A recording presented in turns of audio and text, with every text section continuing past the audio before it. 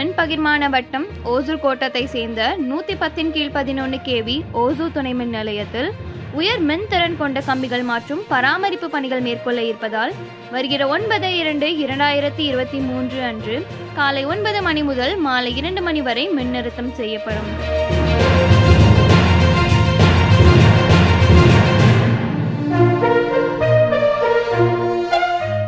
மின் நிறுத்தம் செய்யப்படும் கிராமங்கள் மற்றும் பகுதிகள்.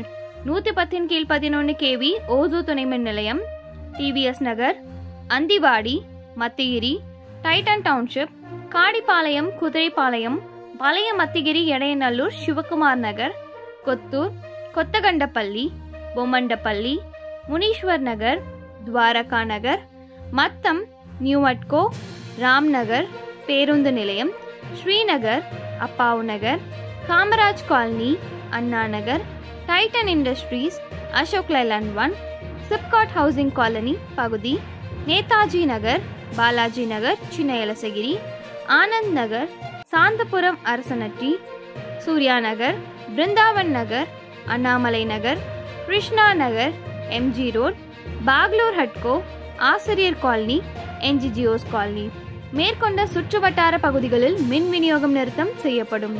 உடனுக்குடன் செய்தியை தெரிந்து கொள்ள நம்ம ஹவுசர் யூடியூப் சேனலை சப்ஸ்கிரைப் செய்யவும். நன்றி வணக்கம்.